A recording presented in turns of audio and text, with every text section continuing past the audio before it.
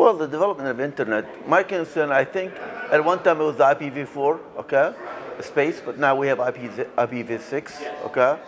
Uh, the next piece, I think, will be bandwidth. Uh, we see a huge increase on content, okay?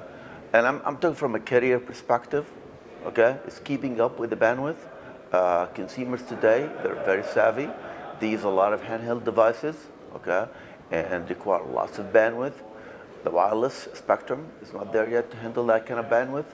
I think at home, with the fiber, you know, whether it's AT&T or, or, uh, or uh, Verizon with their fiber capabilities, I think we'll get there.